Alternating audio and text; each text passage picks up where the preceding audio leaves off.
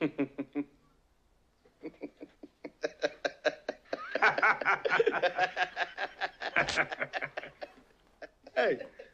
what are you gonna do?